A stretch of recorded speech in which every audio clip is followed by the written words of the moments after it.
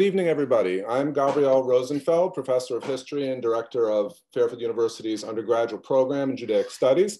And I'd like to welcome everyone to the Judaic Studies program's first webinar of 2022. I'm especially pleased to welcome Professor Jeffrey Veidlinger, who will be speaking uh, this evening on a topic of great importance, the horrific pogroms perpetrated against Ukrainian and Polish Jews in Eastern Europe during the years 1918 to 1921. Uh, I was hoping to welcome Professor Veidlinger in person to Fairfield this evening, but uh, COVID had other ideas. Uh, in fact, I'm reminded of the fact that Jeff and I last saw each other in person nearly two years ago next month, when he was kind enough to invite me to speak at his home institution, the University of Michigan, just before the pandemic erupted. Since then, as we all know, we've had to embrace new technologies to make our lectures possible, but we have a huge audience on hand tonight, so we can certainly feel positive about that. Uh, as you can see, uh, Professor Veidlinger is sitting comfortably and hopefully warmly uh, in what looks to be a part of the Ukraine or Ukraine uh, back in the early 20th century, but normally uh, he's in Ann Arbor, Michigan, although currently he tells me he's in Philadelphia this evening, but current, uh, normally he's in Ann Arbor, Michigan, where he is the Joseph Brodsky Collegiate Professor of History and Judaic Studies at the U of M. He is the author of many award winning books, including In the Shadow of the Shtetl, Small Town Jewish Life in Soviet Ukraine, The Moscow State Yiddish Theater, Jewish Culture on the Soviet Stage, and Jewish Public Culture in the Late Russian Empire. Professor Veidlinger was also the chair of the Academic Advisory Council of the Center for Jewish History in New York City. He's a member of the Academic Committee of the United States Holocaust Memorial Museum in Washington, D.C., and also a former vice, former vice president of the Association for Jewish Studies. Professor Veidlinger's new book, In the Midst of Civilized Europe, focuses on a topic that ought to be, and thanks to Jeff's book, will be much better known, namely the mass murder of Eastern European Jews in the years after World War I. As we will learn this evening, the, the murder of more than 100,000 Jews has long been overshadowed by the Holocaust, that is to say, the Nazi uh, murder of 6 million uh, Jews during the Second World War. But Professor Veidlinger's book will shed light on important continuities between both episodes of mass murder. Drawing on a range of untapped archival sources, his book provides a long overdue analysis of a long understudied topic. Uh, I'm happy to report that the book was recently a finalist for the National Jewish Book Award. Uh, and on a personal note, I'm especially interested to learn more about the topic since my own grandmother lived through the pogroms in the Ukraine before she emigrated to the United States in 1924. And I trust many of us who are uh, in attendance this evening over Zoom can probably point to similar family connections. One or two other announcements uh, before we get started uh, this evening. Um, this evening's format, the lecture format and the discussion format uh, is probably familiar to many of you, but in case you're new to Zoom, Professor Veidling will speak for about 35 to 40 minutes, and then we'll have an opportunity for Q&A. I'll be taking uh, the questions um, through the uh, chat function, excuse me, for, through the Q&A function uh, on Zoom, and I'll try and curate those. I'll also have some initial questions that I'll pose to Jeff as we uh, begin the dialogue. Uh, I'd also like to mention the next event organized by the Bennett Center for Judaic Studies.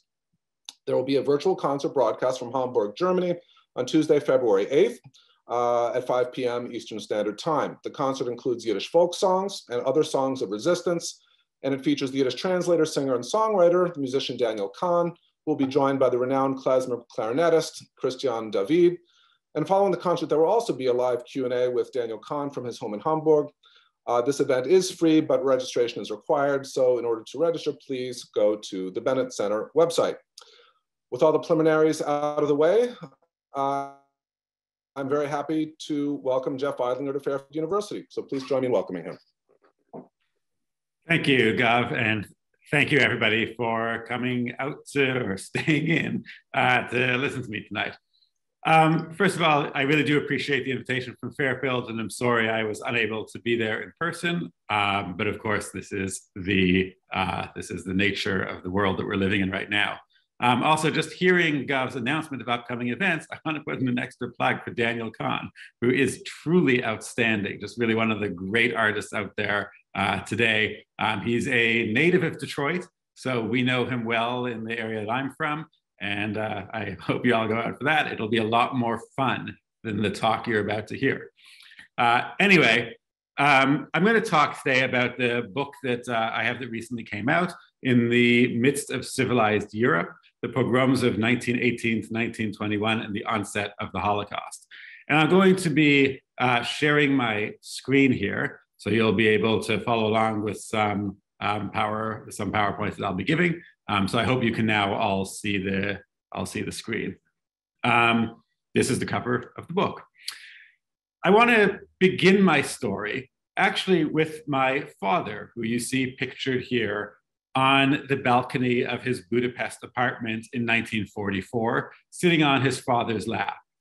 This looks, I think, to most eyes like a perfectly normal picture um, of a happy son and his happy father um, enjoying the outdoors together uh, in Budapest. And perhaps it takes a minute for you to notice that they're both wearing yellow stars. Uh, this is taken after the Nazi invasion of Hungary, after the requirement that Jews wear yellow stars, and before the deportation of my father's family uh, to Auschwitz. My father and his father, in fact, my grandfather managed to survive uh, by fleeing a lineup and hiding in a shoe store um, for a while before returning and hiding out in the basement of their apartment uh, for the duration of the war. But I'm reminded when I see this picture of how my father always described his childhood, which was as a perfectly what we would call normal middle class childhood. Uh, he enjoyed fencing lessons. The family would vacation in Lake Balaton uh, outside of Budapest, near Budapest. Uh, they would occasionally go for skiing in the Alps. Um, my father attended Hebrew school and attended synagogue on a regular basis. And throughout my life, he would talk about the Holocaust in these terms and talk about how inconceivable it was to him uh, about what would happen. And really just unimaginable that they never imagined that something like the Holocaust, something like the mass killings of the Holocaust could occur anywhere, let alone in Budapest, um, where they were, again, a comfortable middle class family. And in fact, this is the narrative that we often get of the Holocaust the notion that it came out of the blue somehow. Um, the two most common narratives of the Holocaust, probably Anne Frank's diary and Elie Wiesel's Night, both give that impression.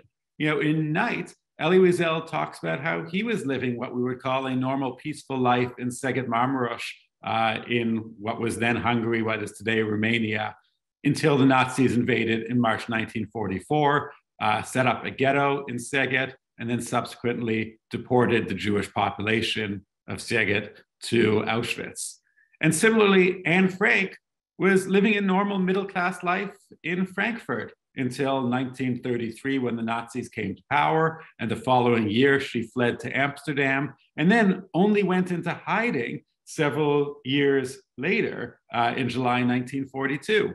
Um, and remained in hiding for the well until her deportation to first Westerbork in August 1944 and subsequently to Bergen-Belsen.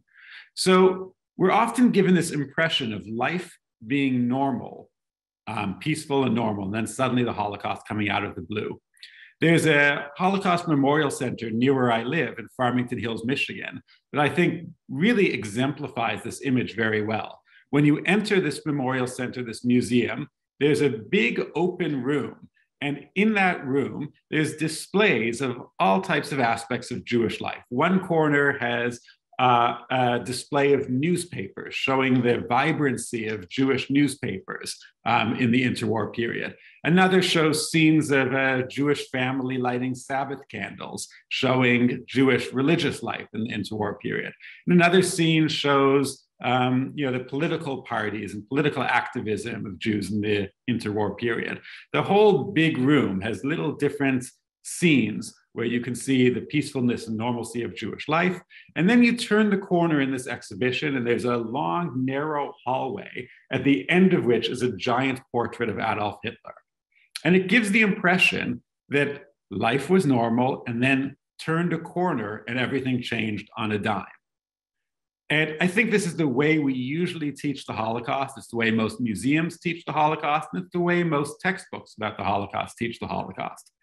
And that's actually a true story, as the story of my father indicates. For most of the Jews in Western Central Europe, this was the story. They were living peaceful lives, maybe middle class. A lot of them were middle class, some were lower class, some were upper class, whatever the case may be. Um, but they were living lives that were largely free of anti-Jewish violence.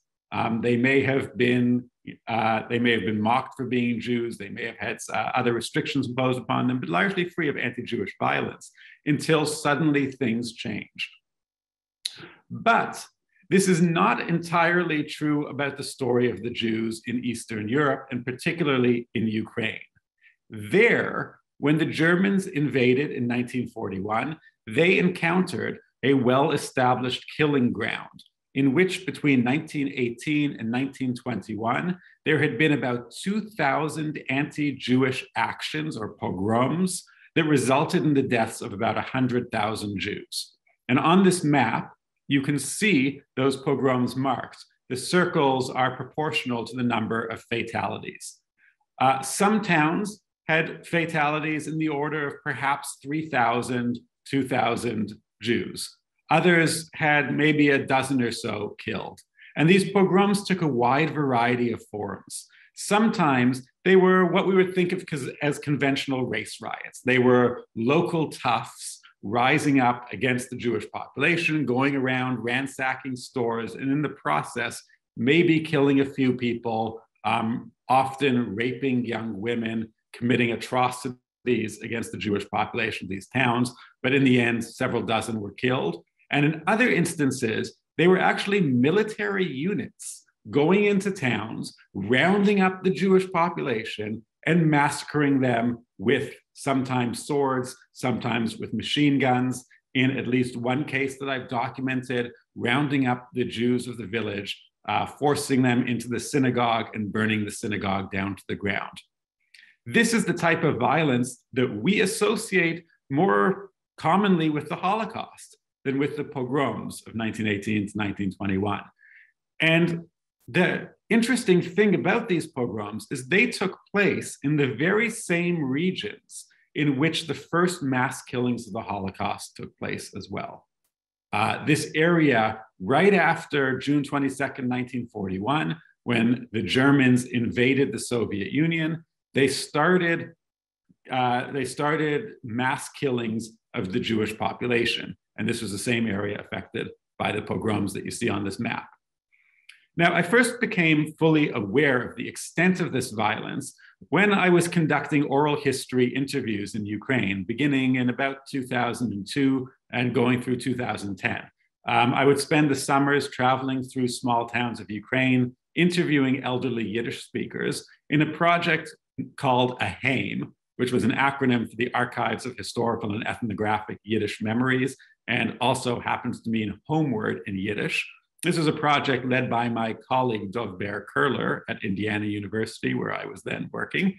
And we would interview elderly Yiddish speakers about their life experiences, about how they survived communism and how they survived the Holocaust. And I was struck in these interviews by how many people talked about surviving the pogroms of 1918 to 1921 and the impact that this violence had on them. Again, only 20 years before the Holocaust. And I want to play you a few clips of people talking about these pogroms to give you an idea of the types of pogroms and of the experiences they endured. The first clip I'm about to show you is from Nisan Yurkovetsky in the town of Tulchin. And Nisan was born in 1917.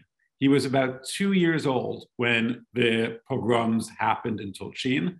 And he's going to talk about a local gang, the Lyachovich gang, which was a gang of peasants, of insurgent fighters from the peasantry, who came into town and over the course of eight days controlled the town and committed atrocities against the Jewish population. Yurkovetsky himself managed to survive, but his immediate family was killed. And in fact, his mother was killed holding him as a baby in her arms. And he's going to roll up his sleeve and show you a scar along his arm where the bullet that killed his mother grazed his arm.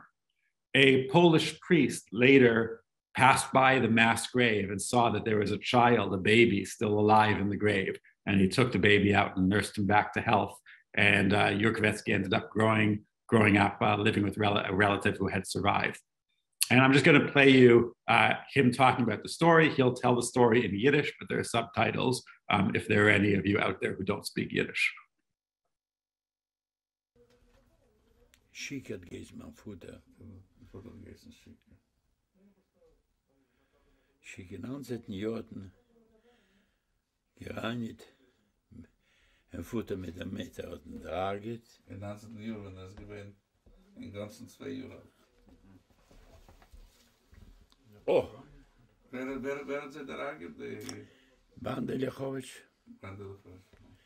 er hat geschossen, der Bandit. Ist er der geflogen, der Pulle. Hat es, hat Semen. Und da kriegt sie Porach. Wieder, wieder, Ja, ja, ja. hat man hintergenommen. Apolik. Apolik hat hat man hintergenommen. Dus als ik woon daar, actions, afnugel. En dat nog haar aangenemen. En wat Gratis. da, gerottet, wat er geschollen werd, maar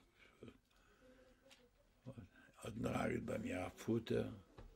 Wenn bei mir ein paar mache auf Futter, auch so du bei mir ein paar mache auf Futter, en a Meter, en a Seide, a Schnader, Wie hat er mit er gegessen? Giekel. Beide zijn gewend van Donat, van Schicke, ja. Schickes von Dulcin. Und, Ne, Schicke, man ab. Der Futtermann hat jetzt Schicke. Ja, ja. Er ist von Dulcin. Ja. Ich bin ein paar Macher.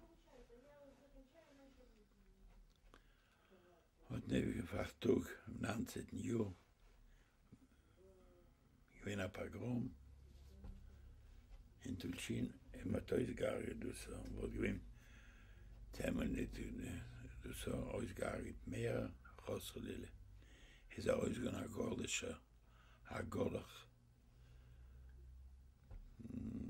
Bardochan, und so, hat Probe, die Banditen, hier, in seiner Tugwein, von Ladeje,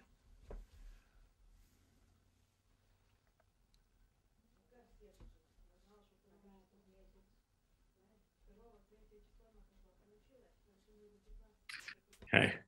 Um. So in that narrative, uh, it's a terrible story, and you hear him talk about the pogrom and the impact it had on him. His family was killed. It was very personal. Uh, he knew the name of the gang that perpetrated the atrocities against the town, the Lechovich gang. Uh, this wasn't part of an organized military. It was a group of peasants who came into town and terrorized uh, different Jewish communities around. Uh, he also knows the name of the priest who put an end to the pogrom. And that's significant too, that all it took for this pogrom was for some priest to come out and say, enough, everybody go home. And they did. And he says there would have been more killing um, if Braduchan, if the priest hadn't come out and said that. So this was a pogrom that could have been stopped and was eventually stopped by somebody. Um, it's local. You can see the trauma um, in his eyes and his all his gestures as he's talking. This is 80 years after this pogrom took place. Um, you can imagine the impact just 20 years after in a small town like Tulchin, um, when the Nazis came in 20 years after the pogrom that he's describing, in which a portion of the Jewish community, um, I don't know exactly how many people were killed in the Tulchin pogrom, likely several dozen um, were rounded up and killed. The next narrative I'm going to play you in the next, from the next video is um, a different kind of pogrom. This is a pogrom that took place in the town of Proskuriv, which actually is the virtual background I have right now is in Proskuriv, um, in a town near the, what was the Polish-Ukrainian border at the time. Um, and it took place right in the very same square that you see behind me. Um, so you can get an idea for the type of community that this was. Proskuriv was a slightly bigger town um, than Tulchin, but still had a small town life to it.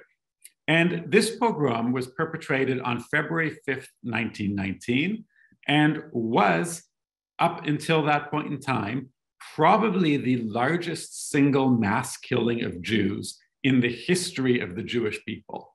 Um, and that's a history with a lot of atrocities against them. But an estimated somewhere between 900 to 3,000 Jews were killed.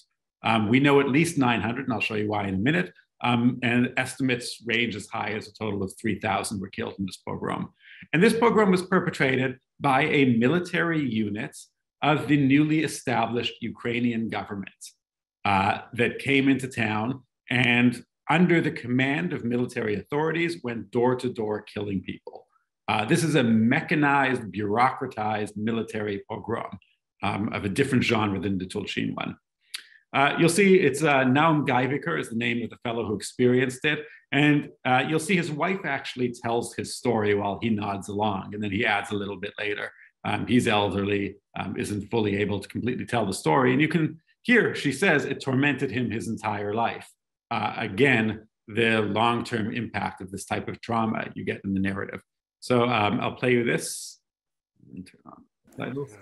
Also gewesen sechs Jahre es gewein da pagrome gewein en me en az de groß was sel gewoin zum gewoin zum eden am gesen de groß? Es sabor nat gesen de groß. bezant is es sabor Das ist ein zentrum stut do wie der markt ist da dabei Wer ist uns erkennt, wo es uns geboten ist, aber wir sind ungefähr ein Jahr schiedene. Da. da tote zana mit der älter mit der kleiner schwester um später auf zu gehen auf dem boden im mutter äh, geboten er mit der matsch hat eine gestohlen nennen ein der ganze gost hat nun gehen argen in deden am mutter nun sagen in deden er mit der zu sein stieber gibt gold oder belohnt gibt Und sie sind gewinn stark kuren, so ein Gurn ist gut, so ein mir oben nicht. Ob die gehst ins Gurn nicht, wenn man die aufnimmt im Kopf.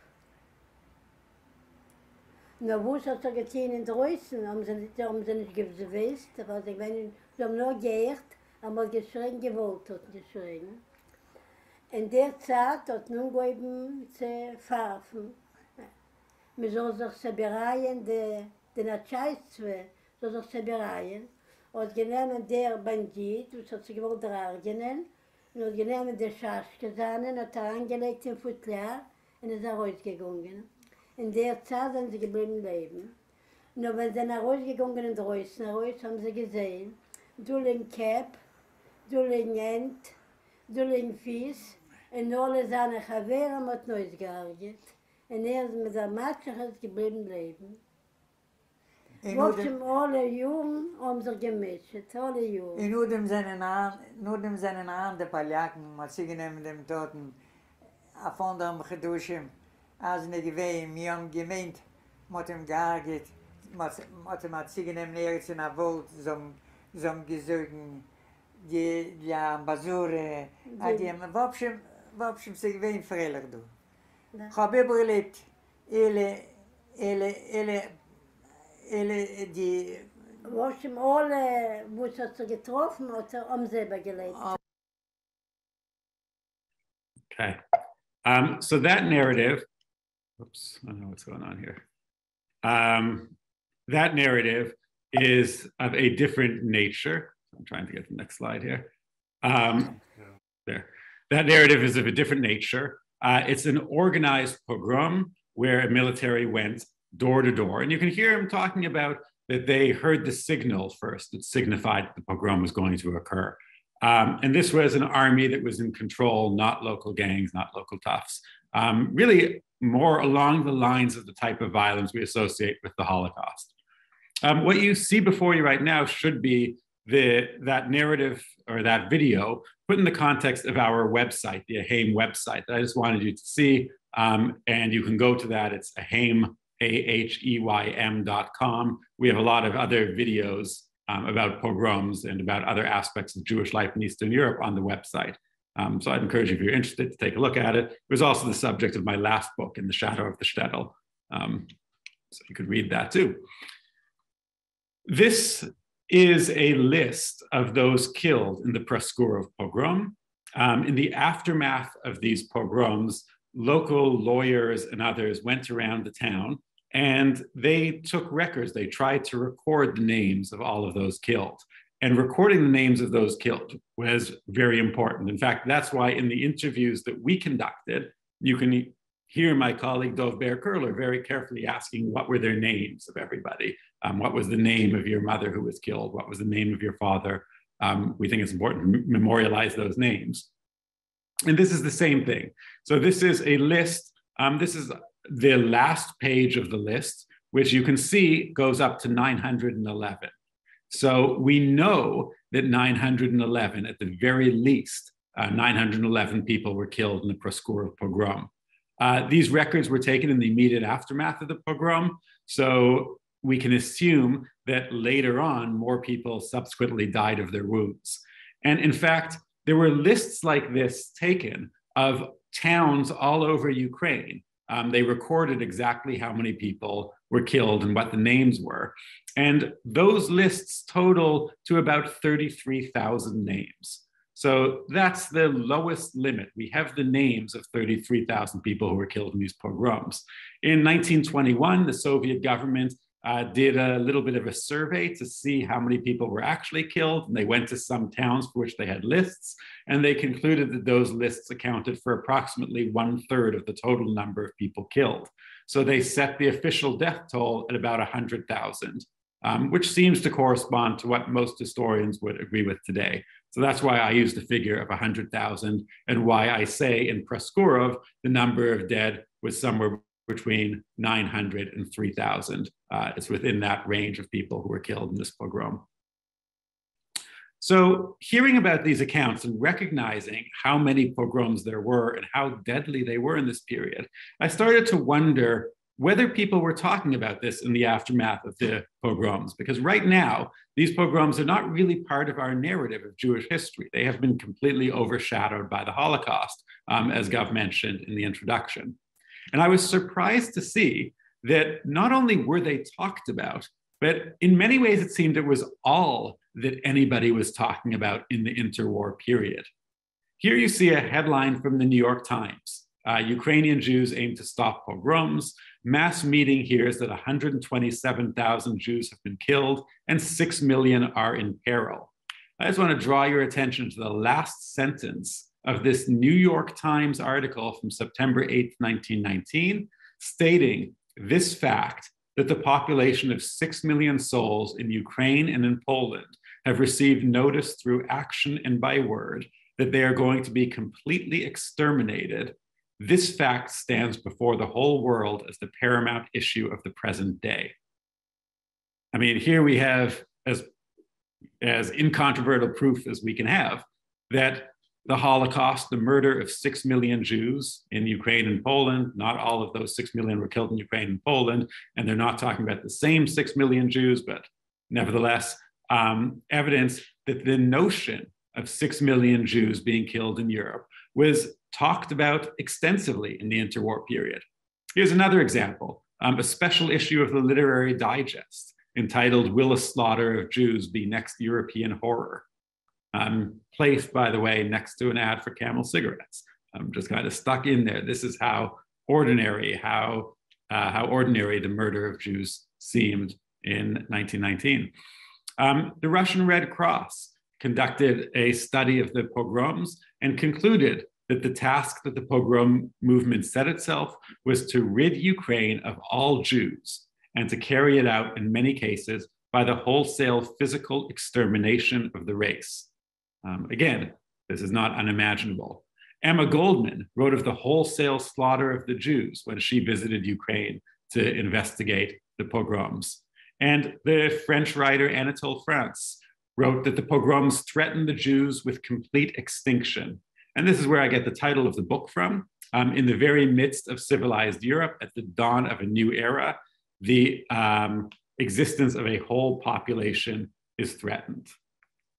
Um, to give you one final example, here's an article from The Nation in 1921 entitled The Murder of a Race, as though the nation is searching for the term genocide, uh, murder of a race that had yet to be invented. It was only invented in 1944 um, by Raphael Lemkin in response to World War II.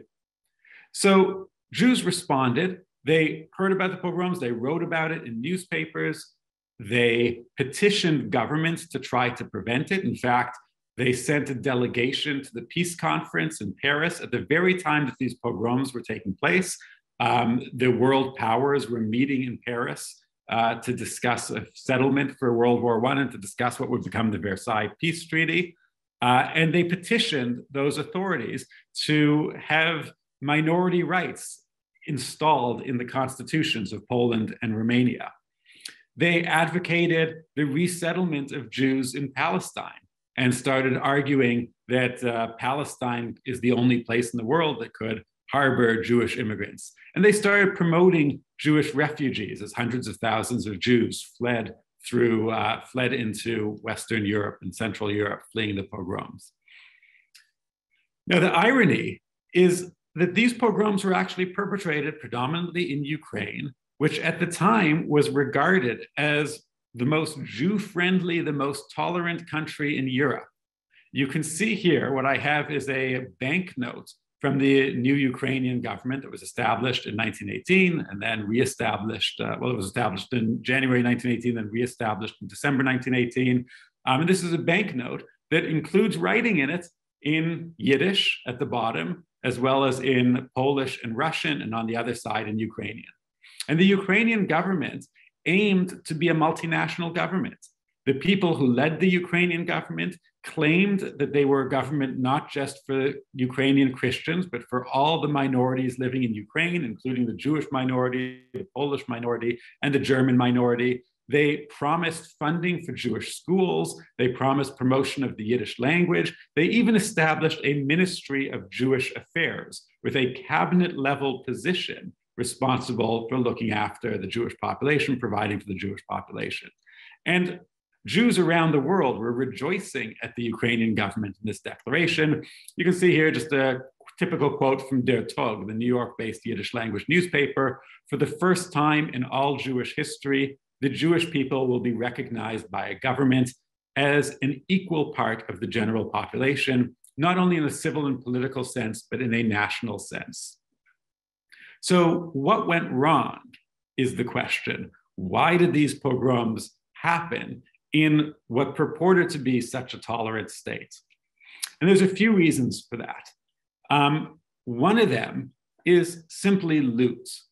That in Ukraine, Jews tended to run the stores, they tended to run factories, they tended to be based in the cities. And so the central marketplace of many towns, like the marketplace that you see behind me in this historic photograph, this historic postcard, uh, the stores tended to be run by Jews, and Christians tended to live in the countryside. During war, and this was a period of long-standing war. 1919 was right after World War I.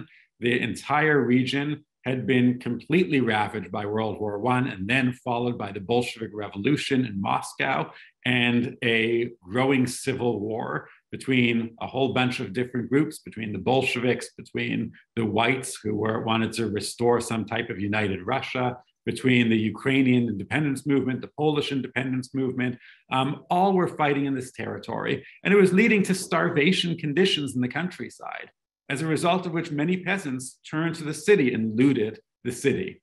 And looting these Jewish stores often led to a pogrom. Um, the peasants looted the leather works that were owned by Jews. They looted the dry goods stores that were owned by Jews, and they looted the alcohol stores that were owned by Jews, um, often killing Jews in the process and assaulting Jews in the process, including raping uh, Jewish women. Um, all of this was occurring in that context.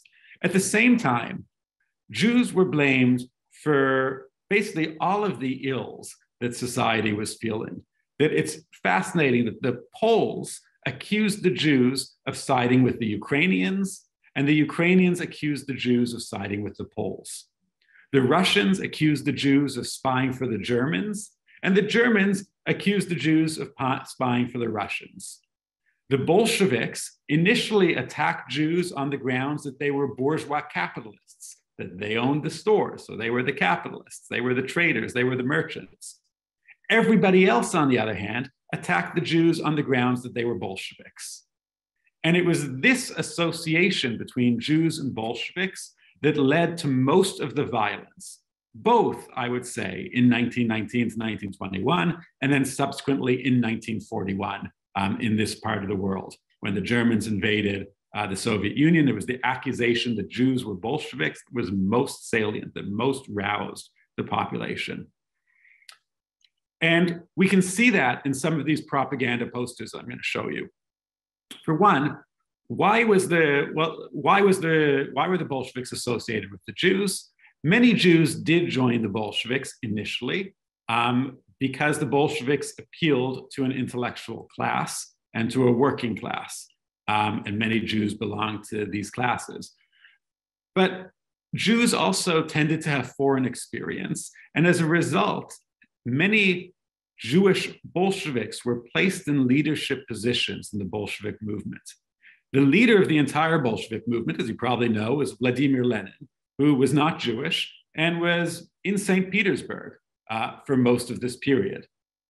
But the person who most represented the Bolsheviks to the world was the Minister of Foreign Affairs, Lev Trotsky, who was born uh, Lev Bronstein. And everybody knew and recognized him as somebody having Jewish roots. And he was the person who first was sent to the West to negotiate a peace treaty on behalf of the Bolsheviks. When the Western leaders first encountered the Bolsheviks, they encountered Leon Trotsky. Um, other leading members of the Bolsheviks who also served this role of negotiating with the West were Zinoviev, Kamenev, also people of Jewish heritage. They themselves didn't identify themselves as Jews. They saw themselves as Bolsheviks, as having no religion, but the rest of the world saw them as Jews. And you can see that the whites and the opponents of the Bolsheviks used that fact in order to rouse the peasantry against them. Because it's very difficult to convince the peasantry to fight against things like that the Bolsheviks were promising, which were land, bread, and peace. These are all things that most people want, that the particularly the peasantry really wanted. So the way that the right wing, the way that the reactionaries used uh, to turn the peasantry against the Bolshevik principles was by saying, listen, the Bolsheviks aren't who they say they are. Really, they're a bunch of Jews. And they played on old stereotypes of Jews in order to turn the peasants against them. So, this is one example. This is called the coat of arms of Lev Trotsky. And you can see it says it has a Jewish star in the middle. It says Talmud in uh, Cyrillic underneath. And it's sort of a perverted version of the Russian imperial eagle. Um, but instead of the majestic eagle, it's the face of a Jew, um, perhaps a caricature of Trotsky. Uh, you can see it's got all of the characteristic Jewish attributes of a hooked nose, um, wearing a kippah, a uh, thick lips, um, and then a goatee as well. But the goatee is made to look like a goat. And it's holding um, a fish and garlic, which are two symbols of Jews as well, associated as Jewish foods. Another example is this image of Christ being led uh, to Golgotha with the cross. And you can see who is leading him to the cross. It's Red Army soldiers, um, Red Army soldiers and sailors you see in their outfits. And then looking on at the bottom right corner is Trotsky himself. Um, Trotsky is put in the role of Caiaphas as the high priest who is directing the Red Army soldiers to crucify Christ. And this builds upon old stereotypes associating Jews as Christ killers in order to get the peasantry to turn against them. Uh, so it was this type of propaganda that was really used mostly by the whites, by those who wanted to restore the old Russian Empire, and they had a huge propaganda machine. Um, but it also instilled in the peasants a general association between the Bolsheviks and the Jews. Um, this is just a little chart here showing who perpetrated the pogroms. And I want to talk a little bit about that. So we can see, according to this chart, about 38 pogroms were perpetrated by the Poles. Um, the Poles were trying to gain their independence, um, and in the process, also perpetrated pogroms against Jews. About 54 pogroms, it claims, were perpetrated by the Ukrainians. Um, by this says Petlura. Simon Petlura was the head of the Ukrainian army and generally associated um, as the head of the Ukrainian state. By the way, Trotsky, I mentioned he was the Commissar of Foreign Affairs. He was also the uh, head of the Red Army. So he was also closely associated with the, uh, with the Bolsheviks because he headed the Red Army. Um, about, 100, about 93 pogroms, rather, were perpetrated by Denikin, who was the head of the Whites. So were perpetrated by those wanting to restore the Russian Empire.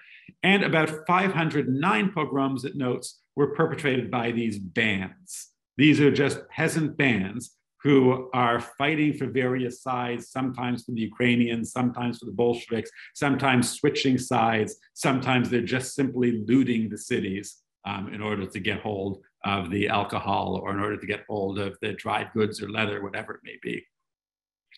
And I want to talk for a second about who those bands are, because here we have some portraits taken in a photographic studio of Struk's men. Struk was the head of one of these gangs, Ilya Struk, and these are his soldiers.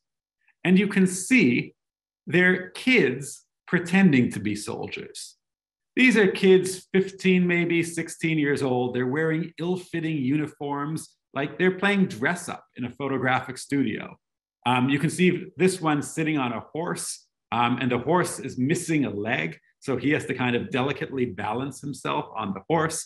These are just kids um, who had grown up without fathers. For five years, their fathers had been fighting wars instead of tilling the fields. And all they knew was warfare. The Germans, Austrians, all types of armies had been in Ukraine and had abandoned their weapons when they fled back home. And these kids picked up their weapons and used it to perpetrate atrocities against the Jews. As this was occurring, and as these peasants were threatening Jewish communities, Jewish communities tried to form self defense brigades. But they quickly realized that they didn't have the force of arms in order to defend themselves against these peasants and against the types of arms that were available to the peasants. And so they realized that the best way of defending themselves was to join the one army that stopped pogroms, and that was the Red Army. And although the Red Army perpetrated some of the first pogroms in 1918, by 1919, through a very comprehensive program of education, Trotsky and other leaders of the Red Army had convinced their soldiers, for the most part, not to perpetrate atrocities against the Jews. There are isolated incidents, and there are units. Isaac Babel talks extensively about his uh, Red Army brigade during the Polish campaign, where the Red Army was committing atrocities against Jews. But by and large, the Red Army didn't commit atrocities against Jews. And in fact, when the Red Army came to a town, they took over and they punished the pogrom perpetrators. And they said to the Jewish community, they, they gathered the Jewish community together and they said, We've saved you. And now it's your responsibility to join up with us and to join the Red Army and to fight for justice. And so Jews did join the Red Army en masse. And as more and more Jews joined the Red Army, they became more and more closely associated with the Red Army, bringing about this uh, um, self fulfilling prophecy or snowball effect as more Jews are joining the Red Army, they become more closely associated with the Red Army. And the Red Army then perpetrated its own atrocities, now against the Ukrainian peasant population because of the violence of the pogroms. And what you hear, see here is the sentence for people who are designated as the perpetrators of a pogrom in the town of Slovichna. And we can see in this chart and in this, uh, in this sentence, if you could read uh, uh, Russian, you can see that the head of the tribunal that carried out this sentence was a fellow by the name of Feldman, and the secretary was a fellow by the name of Ratner, two very identifiable Jewish names. And the people who were accused of pogrom perpetrating have the very Ukrainian names of Dubnitsky and Khilyevich. And Dubnitsky and Khilyevich were 18 years old at the time. This is 1921. So that means they, he was 16 at the time that the, he allegedly perpetrated the pogrom, and another one was 26, so he was 24 at the time the pogrom was perpetrated. And this tribunal, this Soviet tribunal comprised of Jews, ended up giving death sentences to the peasants, to these, to these peasants. And so what it looks like to the community, to the Ukrainian peasant community, isn't that now the Jews are in charge, they're going off and they're killing our kids um, as retribution. And the famous historian Leonard Schapiro, who actually lived during this time um, and experienced, wrote famously that anyone who had the misfortune to fall into the hands of the Cheka, of the Soviet secret police, stood a very good chance of finding himself confronted with and possibly shot by a Jewish investigator. Um, I want to talk about one more aspect before wrapping up, which is migration. As a result of these pogroms, enormous segments of the Jewish population were displaced, and hundreds of thousands of Jews fled Ukraine entirely for Central Europe. And many of them ended up in Germany. In fact, Germany was the largest recipient of pogrom refugees after Poland, and in Poland, many of them subsequently fled to Berlin, uh, so or to Germany, and mostly in Berlin. So huge numbers of Jewish refugees were landing in European capitals, in places like Paris, in places like Berlin and Vienna, and this was leading to what many considered to be a refugee crisis. And the Jews who were coming in were blamed for importing Bolshevism. Even though they were fleeing Bolshevism, somehow the public blamed them for bringing Bolshevism into Germany. Um, they were also blamed for bringing in diseases. Um, they were blamed for taking uh, advantage of social services all the types of things that refugees today continue to be blamed for, the Jews were blamed for. Um, they were a very large group of refugees fleeing into these territories. And none other than Albert Einstein, who was living in Berlin at the time, recognized this problem. And he wrote that the attitude toward these unfortunate refugees who have escaped the hell that Eastern Europe is today has become an efficient and politically successful weapon used by demagogues. And in fact, this was the case that their right wing in Germany started accusing the Jews of importing Bolshevism and of trying to destroy Germany like they had allegedly destroyed the Soviet Union. And you see this um, in one of the earliest editions of the Völkischer Beobachter, the newspaper that was bought by the Nazis. And this is soon one of the first editions after it was bought by the Nazis. And the headline is Against the East European Jews, gegen die Ostjuden, um, in which the Jews are accused of importing disease, the Eastern European Jews are accused of importing disease, um, taking advantage of social services, and importing Bolshevism to Germany. And by the way, the same accusations were made about Jewish immigrants to the United States. There were also Jewish refugees fleeing pogroms who came to the United States. And this is the origins of the Red Scare in the United States in 1919. Um, it was promoted by Henry Ford, who often talked about the pogroms and the pogrom refugees, and eventually led in part to the National Origins Act of 1924 that restricted migration of Jews to the United States. Um, and in fact, many other countries in 1923 and 1924 passed laws um, restricting Jewish migration. Skipping ahead a few a few years to 1941, when the Germans invaded Ukraine, you can see that they built upon this same propaganda, saying this is Jewish Bolshevism, and accusing the Jews of being Bolsheviks, and using this accusation in order to rile up the population against the Jews. And one example of that is the Lviv pogrom of July 1st, 1941, at the end of June, beginning of July, it was a few days, um, in which the Germans uh, incited the local population against the Jews, in essence, repeating the pogroms of 1918 to 1921. And this was a very public pogrom, one of the first that took place in uh, the former Soviet Union. And you can see in this photo, in fact, the entire pogrom was videotaped. You can see, or not videotaped, was filmed. And you can see a film of it um, at the United States Holocaust Memorial Museum. It's a very disturbing film. Uh, you can see Jews being stripped naked and beaten in the streets and being ran through the streets as the population looks on. And in fact, the Germans even named this pogrom Petlura Days after Simon Petlura, who was the head of the Ukrainian state in 1919, in order to remind the population of this connection. And I argue in the book that this type of pogrom and this type of activity helped make the annihilation of the Jews of Eastern Europe possible. That there was a direct connection between what took place, the violence of 1918 to 1921, and the violence of 1941 that began in these early days after the German invasion and then subsequently escalated and became increasingly, um, increasingly severe, culminating uh, in the concentration camps and the death camps, um, which are a whole nother matter, but which are the culmination of the type of violence uh, that I'm describing. So I will stop there and hopefully the screen share is gone and I'm back. Thank you very much, Jeff. Uh, wow, there's a lot for us to think about. I have a bunch of questions uh, that have already arrived in the Q&A. I would encourage uh, everybody who is in attendance, and we're still around 300 at the moment. So again, thank you for all showing up this evening.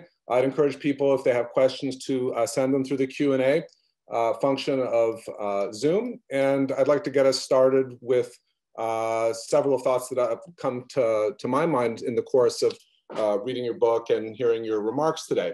Um, so we can, you know, begin with the dialogue and then open it up to everybody. Um, I think uh, you've given us, for one thing, a fantastic overview of a lot of different things that your book does. If I could ask you to perhaps drill a little bit deeper into um, some of the points you were just referring to uh, at the tail end of your talk with regard to, I guess, what is maybe the central causal question.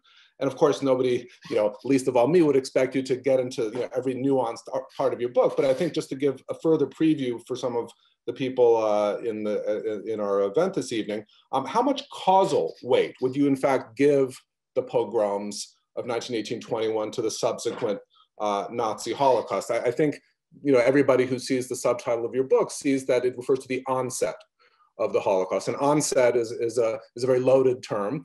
Um, and so I guess I'm curious um, how, in fact, uh, and where, in fact, the similarities and differences lie between the events of 1920, uh, 18 to 21 and the events of 1933 to 41. If obviously, or to 45. Obviously, if someone took you 100% literally, I suppose you could be seen as arguing the Holocaust really begins in 1918. Uh, clearly, you're not arguing that. But where where are uh, the discontinuities and the continuities between uh, these two episodes of mass violence? Just to begin. Right. Well, I am arguing that the mass killing of Jews in Europe begins in 1918. Um, and so I am arguing that there are continuities there. And I think that this type of mass violence is a cause of the Holocaust. I don't think it's the cause. I don't even necessarily think it's the most important cause. Um, but I think it's a cause that we have failed to appreciate and to understand the degree to which we need to understand it. Um, I think that there's a mental barrier to violence and that once you start killing, it becomes easier to do so. And in Ukraine, that mental barrier had already been broken. It was not inconceivable when an army comes into town that they're going to round up Jews and kill them. In fact, it had already been done, it was expected. It's the same way, you know, it's somewhat of a copycat crime. It's a, an analogy that I've, you know, thought of that I've somewhat used is take, you know, atrocities, take terrible things that happened in this country. When I went to high school, it was inconceivable. The last thing I ever thought of was that somebody was going to come in with a firearm and start shooting the school. Um, and yet that happens once, and some mental barrier is broken, and it becomes easier to do it the next time, and the next time, and the next time. And that doesn't mean that Columbine is a cause of what happened near where I live in Oxford, Michigan, um, about six weeks ago.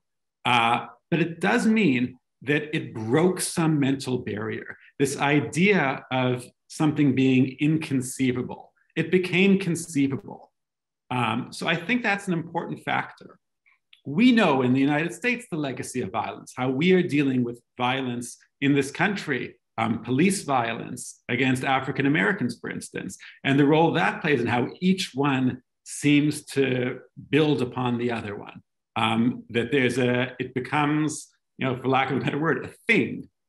And this is what was taking place in Eastern Europe. So it's different perpetrators, by all means, different instigators, at least. Um, the Germans on one hand and the Ukrainians on the other. But it's the same, it's Europeans. It's like saying, you know, how can we compare what happened in Columbine, which was Coloradans, with what happened in Michigan, which was Michiganders? Right? It's the same. In fact, the distance between Berlin and uh, and Lviv is less than the distance between uh, between Denver and Detroit, right? So they're fundamentally the same. It's in the European mindset, um, and the Germans are very aware of what took place in Ukraine, And they use it to mobilize, they're very aware of what took place in Ukraine in 1918 rather than 1919, and they use that consciously to mobilize the population in 1941. And we see this in the reports that they send back to Berlin from the ground, in which they're saying, um, we were able to get the Ukrainians to cooperate um, by bringing up pogroms. We were able to get the Ukrainians to cooperate by harking back to, you know, to this era. So they're aware of it um, as one factor. Again, not the factor, um, not the cause, but one of multiple causes uh, that I think we've overlooked. And to follow up on that just a little bit, you do talk, you did talk quite a bit uh, in your remarks about the motivation, uh, the range of motivations that led various uh, dominant groups in the region, Germans, Russians, Ukrainians, Poles, to view the Jews with suspicion. And of course, the anti-Bolshevik drive is, is huge. I wonder in terms of the motivations, how you would disentangle those in the years 1918 to 21 from prior pogroms that existed. And this is sort of also incorporating some questions I've gotten from audience members. If you think, for example, of the Kishinev pogroms of uh, 1903, 04, or 5, if you think of even the Khmelnytsky pogroms in the 17th century, is there some argument perhaps to be made that the motivations are irrelevant or that there's something about the structural position of Jews in this society where the they're the you know the uh, the estate managers and they're the go-betweens between the peasants and the lords. And you know obviously there's a lot of complicating um, factors here but if the arguments for why the Jews are evil are changing over time and you still have pogroms you know how do how do you separate those causal factors perhaps? Yeah so you know the pogroms tend to happen in Ukraine when there's periods of political instability. Um, and this takes place roughly every 20 years between 1880 and 1940 or so. Uh, so 1881, there's a period of political instability with the assassination of the Tsar, and there's a series of pogroms in the south of Russia in which about a dozen Jews are killed in the entire 1881, 1882 pogroms. Um, between 1903 and 1906, there's another series of pogroms, beginning with the Kishinev pogrom. Um, in total, in that period, about three to 5,000 Jews are killed. And then between 1918 to 1921, we have 100,000 killed, and 1941 through 1943, um, much harder to discern, but about 2 million killed, depending on exactly what parts of Ukraine we're talking about. Um, so obviously, it's a vast escalation, and each one is a vast escalation. And they do play upon each other. Um, the 1918 to 1921 is the first that really has military units perpetrating pogroms. Um, and just the sheer number of pogroms dwarfs the previous waves. Um, but there are continuities for sure between 1903, 1906, 1918, 1921. Um, one could say that 1903, certainly the Kishinev pogrom is based on religious hatred quite explicitly, but it also comes at a period of political unrest. So they're all intertwined, and all these causes remain intertwined uh, 1918 to 1921. But yeah, there are continuities. And in fact, you know, genocides often occur um, after periods of violence that preceded them. If we take the other major genocide that we know about, the Armenian genocide, um, it was preceded by about 20 years by the Hamidian massacres. There were a series of massacres of Armenians by Turks in the 1890s. And in fact, this is the first time that the word Holocaust is used in the American press to describe a massacre. Um, they talk about the Holocaust of the uh, Armenians in reference to the Hamidian massacres of the 1890s, uh, which is 20 years before the main Armenian massacre that occurs during World War I.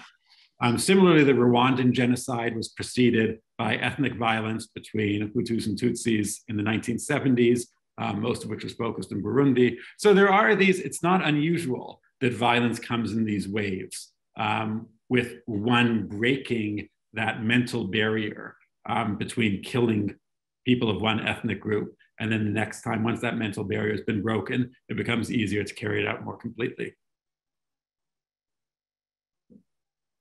Let me move on to um, one or two other questions on totally different topics because I want to get us to have as, as wide, a, wide a range of, of themes for us to discuss, and I'm getting more questions coming in.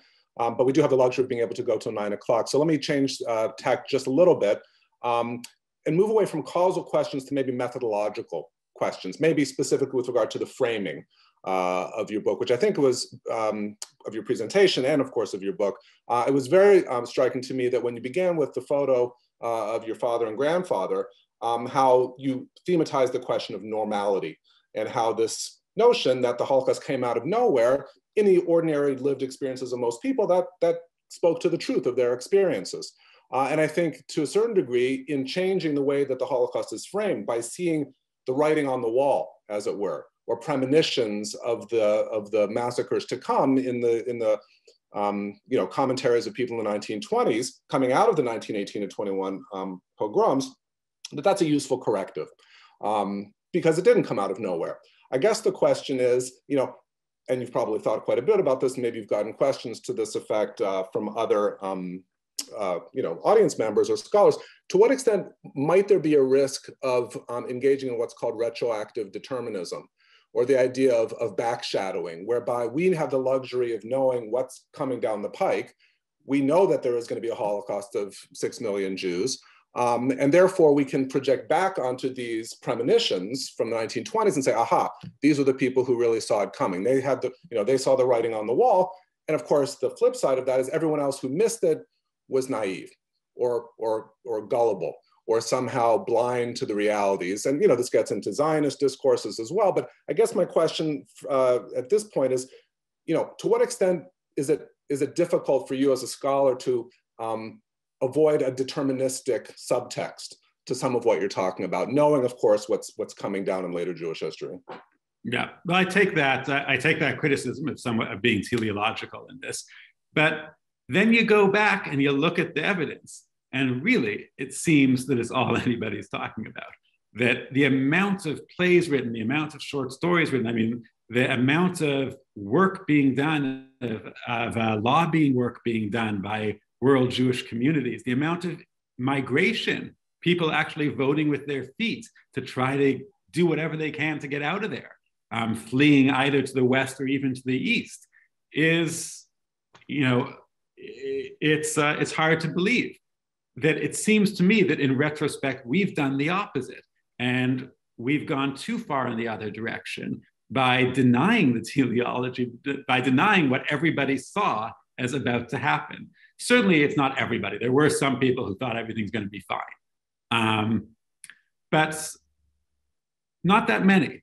And those who did think everything uh, was going to be fine tended to come from uh, religious groups that believed that you know the divine authority would save them somehow. Um, but among those who were you know actively engaged in secular politics or in secular literature, the overwhelming opinion was that destruction was on its way in some form or another. Similarly, those who joined the socialist movement, joined the Bolsheviks, did so in order to preempt what they saw as a coming catastrophe. So, so many of the major movements of Jews during this period, um, be it physical movement, you know, migration, versus Zionism, socialism, these were all responses to what they saw as their coming destruction. Um, so I think it's not uh, it's not unrealistic to to take that seriously. Is there an argument to be made, I suppose, that the Jews of this part of the world, the Ukraine, were doomed? I mean, was was some as long as the Ukraine didn't, as long as Ukrainians didn't have national autonomy and had their own frustrated national aspirations, being at the mercy of the Poles and the, and the Russians later, the Soviets. I mean, were the were the Jews essentially doomed, being you know at the crossroads of these conflicting ethnic nationalisms? Yeah. Well, there's the tragedy you know, when I started following all of, uh, you know, all of what everybody's saying and how everybody's saying that this tragedy is about to unfold, and I thought to myself, well, why didn't they do anything? And then I started looking at what they did. They petitioned the world powers. They, uh, in Paris, they migrated en masse to Palestine. They migrated en masse to Moscow. They tried to establish a new government of the Jews in Palestine. They started it, or they joined an international movement to establish a, you know, international cosmopolitan socialist government around the world. They did everything they could. And the real tragedy is that that wasn't enough. Um, it doesn't mean it was inevitable, mm-hmm. but it's not like they sat back and waited for it to happen they did everything they could think of doing to prevent what they saw um, as you know what they believed was going to happen to happen. Uh, it wasn't inevitable, of course. History never is, and it was the result of you know millions of people making millions of decisions. But yeah, I think the tragedy is they just they did whatever they could, and it wasn't enough. Um, thank you. So I'm going to be drawing on some of the questions that have been coming in, especially on this this latter matter. Uh, one one uh, audience member asked uh, in the spirit of what the Jews did do about these pogroms. Did they band together, aside from diplomatic maneuvers and reporting and so forth, did they form militias and arm themselves other than just emigrating or trying to flee? Um, can one characterize the victims of these pogroms as passive, or were they doing what they could to sort of uh, engage in self-defense? Yeah, so certainly at the beginning, they established self-defense brigades and they acquired arms and, and there was particularly a large self-defense brigade in odessa that had real firearms and machine guns and they went out and they trained other communities in methods of self-defense. But that wasn't working because the army had more uh, weapons than they had and they simply couldn't uh, couldn't amass the amount of weapons that they needed to really defend themselves.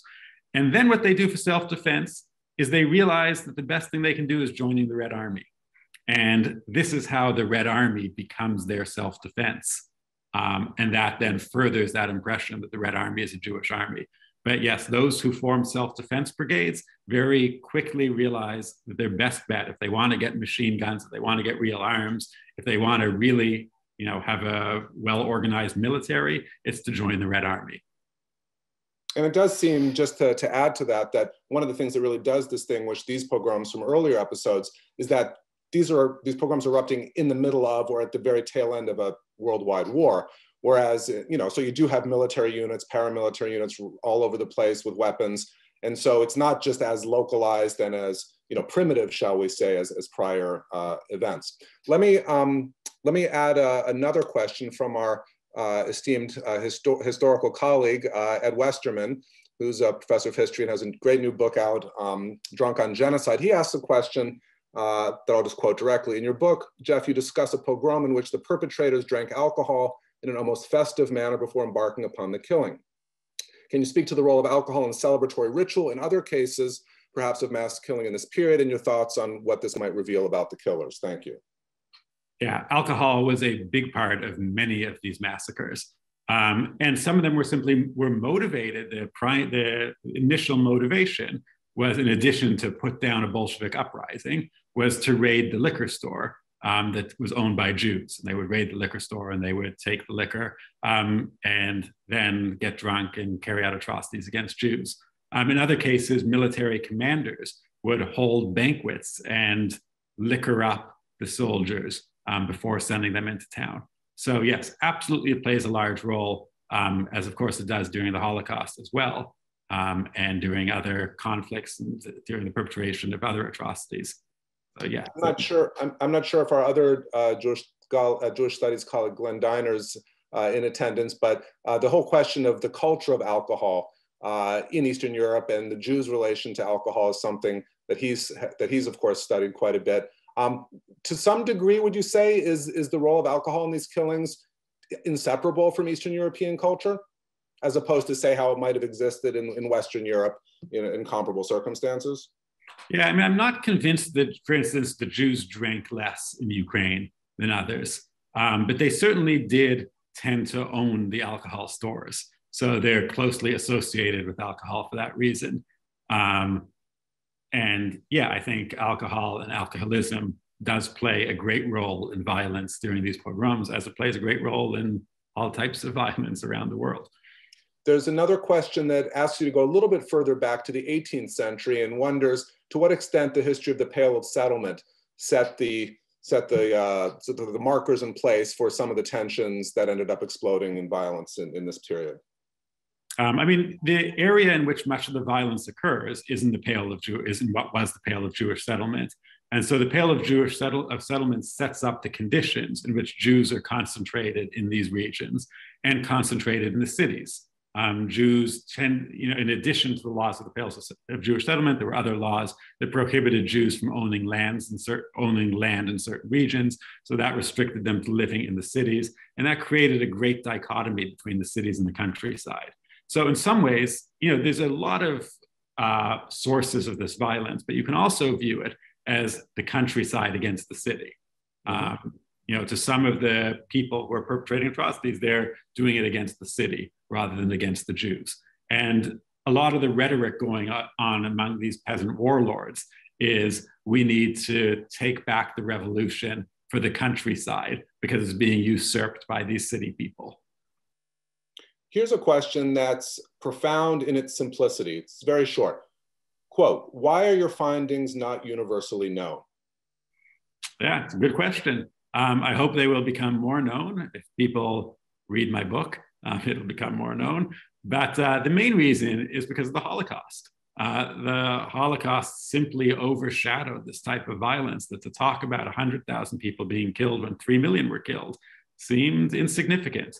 And I think it takes that mental shift to view the 100,000 as a contributing factor to the millions who were killed um, in order to recognize their significance to us now. Uh, and in fact, I think I'll just say one more thing. that I think the reason that it's been, and there are a few other people working on these pogroms right now, um, so they've become a little bit more, people are recognizing the significance of them. But um, we've come to a new emphasis on the Holocaust uh, in the East has led us to recognize that the Holocaust wasn't just bureaucratized, mechanized killings the way Hannah Arendt imagined it to be. Um, and the Holocaust wasn't only Auschwitz, it wasn't only uh, Jews being shipped across Europe in sealed railway cars and gassed to death. But in fact, this new emphasis on the East that's been made possible with the opening of the Soviet Union in the last, whatever, 30 years, um, has made us recognize that the early stages of the Holocaust were close killings um, in small towns, often by locals killing locals. And when we recognize that, we realize, huh, that sounds a lot like the pogroms. Auschwitz does not sound like the pogroms, and it's not like the pogroms. That's a completely different phenomenon. Um, but the pogroms of 1941 that took place in Eastern Europe, the so called Holocaust by bullets, actually sounds a little bit more like the pogrom. So you have to make that mental leap to recognize that the Holocaust was also a lot of close knit killing in small quarters by people who knew each other to realize that it sounds a lot like the pogroms. And then at the same time, you have to recognize and realize that the pogroms were not only local race riots, but were also perpetrated by military units. And those two recognitions make each of them seem a little bit more similar to each other. Mm-hmm. Again, different perpetrators, different scale of killing. Um, there's many differences between the two, but it makes them, it shows some of the similarities that I don't think we had recognized uh, earlier. Here are two questions I'd like to combine uh, into one. Um, you did mention earlier the role of a priest in bringing a halt to uh, the pogrom violence in, in, a particular Ukrainian town. Uh, one questioner wants to know what the role of the church was with regard to the onset of the pogroms, one way or the other. Uh, and then a sort of related question is, what was it that ultimately brought the pogrom wave to a halt in 1921? Did they simply lose momentum or did the Red Armies increasing, uh, you know, victory, the, the, the, number of victories uh, that the Red Army registered by the end of the Civil War, was that what was the decisive factor? Yeah, so the church tends to be against the pogroms and tends to try to stop them. Uh, it depends on exactly you know which members of the church we're talking about and who the local clergy are. Um, but the official position is against the pogroms, and same with the official position of the Ukrainian state. Um, I think that's important to remember as well. These are not centrally ordered pogroms. That's another big difference between these and the Holocaust. Um, but Petliura, who actually gets blamed for the pogroms, the head of the Ukrainian state, really doesn't order the pogroms. He doesn't do enough to stop them, but he doesn't order them. They're not, uh, they're not done on his command. Uh, so the central authorities tend to oppose them and tend to want them to stop, and they tend to be a mass phenomenon. Uh, what finally stops them is the Red Army's victory. Uh, by 1921, the Red Army has secured control over Ukraine, um, or at least over the parts of Ukraine in which the pogroms are taking place at that point, and they put a firm stop to them. So it's the Soviet government and the Red Army. Is there a case to be made? You know that you and I have had conversations over the years, tools and what ifs. If, if the Bolshevik Revolution had really uh, been suppressed or failed one way or the other in the fall of 1917, or if, for example, the white forces had really gotten the better of them in the early phase of the Civil War, how would the pogrom wave have been affected one way or the other? I think it probably would have worsened. And we probably, I mean, you know, who knows? It's a what if, it's, you know, a game speculation to play. Um, but I think we, I think it would have looked a lot more similar to the Holocaust in the end. In other words, it would have been, even if there hadn't been a fear of Bolshevism in power with Lenin and Trotsky running the show, um, if the white forces had won, it would have still been Ukrainian nationalism wanting to get rid of the Jews, regardless of whether they were Bolsheviks or not, or whether Bolshevism needed to be feared any longer. Yeah, I'm, I'm assuming in your narrative that Bolshevism remains a factor, um, but you know, remains a boogeyman, even if the whites have secured control. And there's still, you know, I can't imagine a situation where they completely um, eliminate, you know, any Bolshevism whatsoever. It remains salient, just as it remains salient in Germany um, under a different name, perhaps, but or even in the United States. Uh, you know, this fear of the left still continues in the United States, still continues today. Watch Fox News, and you'll hear them talk about uh, uh, fear of the of Bolshevism in the United States. So there's several questions wanting to hear your thoughts about present day instability in the United States. So maybe I can uh, collate them and, and, bring them together. Um, you know, I think it was powerful what you said about how ordinary neighbors can coexist and interact in commercial and social frameworks and then turn on each other. Uh, and one questioner wants to know um, that wants to ask that in light of what you're uh, referring to, that January 6th and the insurrection at the Capitol, uh, which was driven, according to the questioner, by various hoodlums uh, and the growing threat of terror uh, and anti-Semitism and uh, hostage-taking episodes at synagogues, that it bodes badly for us Jews uh, in America. Um, one doesn't have to compare what's going on in America to the pogroms to, to note that there's anxiety in the Jewish community today this question would like to know what your thoughts are about any parallels between America 2022 and, and Ukraine 1918-21. Um, I think there are parallels in that the United States in 2022 is clearly a country in crisis um, or approaching a crisis. And again, you read the newspapers and look what people are saying, and they're talking about you know, coming problems. This problem isn't going away. Divisions in the United States aren't going away anytime soon. They're probably right. I think when historians, if you know, there were to be some serious, uh, you know, collapse or whatever, somehow, however one envisions the, the United States in the next five to ten years, people would easily look back and see many warnings about it coming. Um, dangers to the Jews. There's dangers to everybody right now. I don't think the Jews are the most persecuted group in the United States right now. Um, so not particularly. I mean, I'm worried about it because there are these incidents of anti-Semitism, but I don't think that's uh, where the next conflagration will be will be based. There's another question that returns us back to the historical perspective and asks whether any of the perpetrators of these pogroms were ever brought to justice for their crimes in any legal or even military context, say by Red Army forces. Yeah, thousands of them were. Um, and this is exactly what happened uh, beginning in 1921 through 1923. And in fact, the Cheka, the precursor to the KGB, was established in large part to fight pogroms um, and to punish pogrom perpetrators. So this is one of the reasons that Jews joined the Cheka and the, what became the KGB. And there were a large number of Jews in it uh, until the late 1920s. Um, but for a few years, uh, there were until there was a purge of Jews, and Jews were largely kicked out of it. Um, but they joined in order to punish per- pogrom perpetrators. Yes, there was a uh, there were thousands, if not tens of thousands, of people who were tried um, on the grounds of they called it banditry was the official crime, um, but banditry usually meant pogrom perpetrators. There's an excellent question that just came in, uh, wanting to also draw some links from the 19 teens and early 20s to the 1940s, but more in, in respect or with respect to the American Jewish uh, leadership's response uh, to these pogroms and how they may have affected uh, the uh, American Jewish community's response to the Holocaust. The question reads as follows. In what ways did the tactics employed by the American Jewish leadership to influence the diplomatic efforts of US politicians towards the pogroms inform the ways in which American Jews of the 1930s and 40s tried to influence American political leaders during the Holocaust? Um, yeah, they learned a lot from it, and they learned a lot about lobbying and about public campaigns.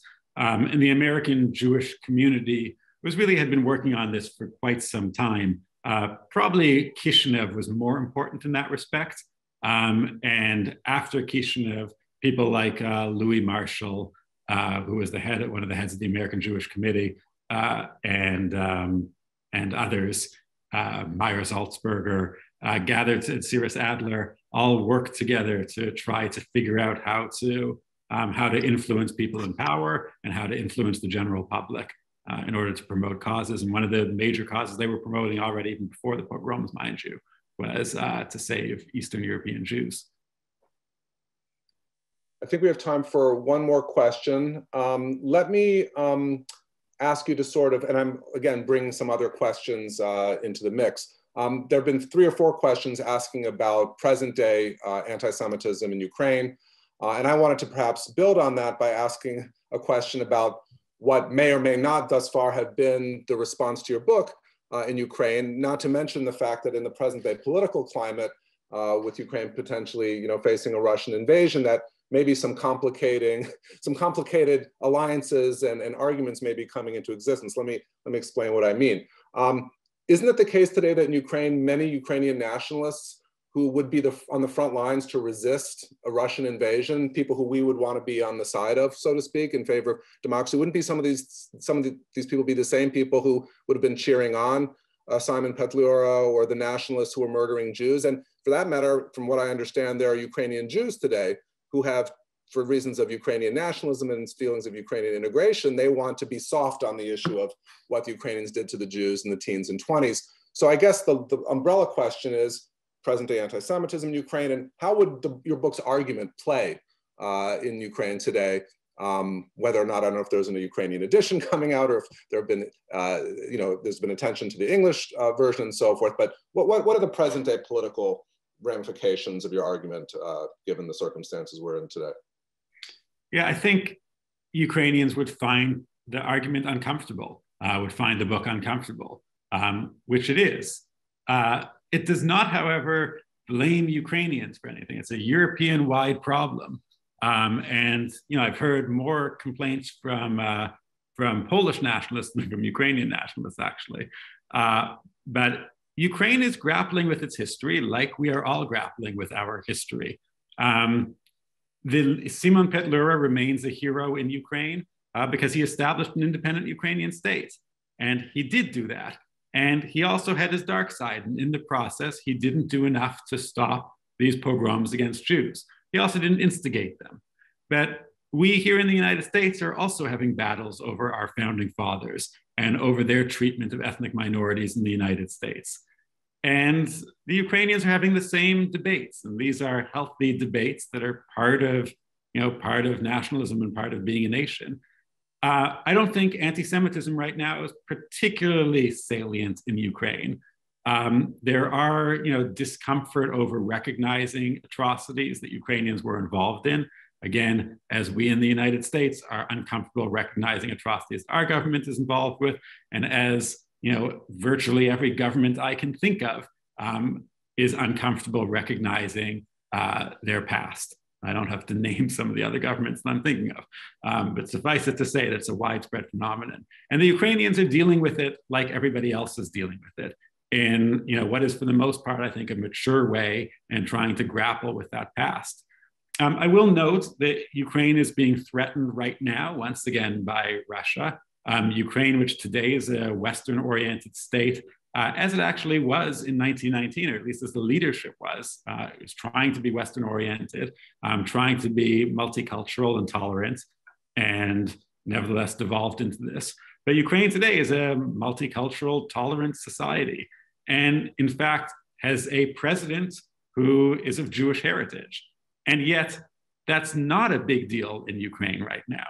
And I think that's telling that people don't really seem to care, don't really seem to note all that much um, that the president is of Jewish heritage. And that's a positive sign. Um, you know, the danger sign on the flip side is when there is chaos, who knows who's going to be blamed? And if there is an invasion, um, if there is a Russian invasion, I think like in the Civil War period, there are Jews on both sides of the conflict. Um, there's the president of Ukraine who is of Jewish heritage. There are many Jews, uh, liberal, Western oriented Jews in Ukraine um, who sympathize with, with the Ukrainian government. There are also some who sympathize with the Russian government. And one never knows whether the Jews will be blamed um, in whatever chaos ensues. But right now, I don't, right now they're doing, they're doing okay. And I think Ukraine is doing a decent job grappling, you know, as decent as can be uh, in, the, in the circumstances, um, grappling with their own past. And it's probably a useful thing for Jews to keep in mind to realize that when Vladimir Putin drives home the fact that there were a lot of Ukrainian who were not, not Ukrainians who were Nazi collaborators in World War II, and when he might refer to the pogroms of 1918 to 21, he's not exactly doing it in a good faith way. He's probably doing it in any, in any way but uh, a good faith manner. So sometimes the arguments that exist, you know, think about who the, who the purveyors are of them. Yeah, exactly. Um, ladies and gentlemen, uh, thank you so much for many dozens of questions, uh, which I've tried to, to collate and condense. Thank you so much to Jeff Veidlinger for being with us. Please, please do look up his book uh, if you want to get into all the uh, really incisive details and the archival materials. I didn't even get, by the way, to the question, Jeff, of uh, a lot of different um, audience members about how to get more information about the oral histories, the video interviews, and so forth. So um, I think uh, we've had a very rich presentation. If you have any concluding uh, points or comments about those videos, uh, please, Jeff, let us know. I'll just say the easiest thing, I have a website. Uh, I can't remember what it is. I think it's veidlinger.org, um, my last name.org, and it has a link there to the, uh, to the uh, oral history project, so you can get it from there. Wonderful. If we can give you a round of virtual applause, thank you very much to Professor Jeff Veidlinger. Congratulations on your new book. Uh, we look forward to having you another time in person here at Fairfield University. Yeah, thank you very much. And thank you everyone for coming. Good night, everybody. Bye.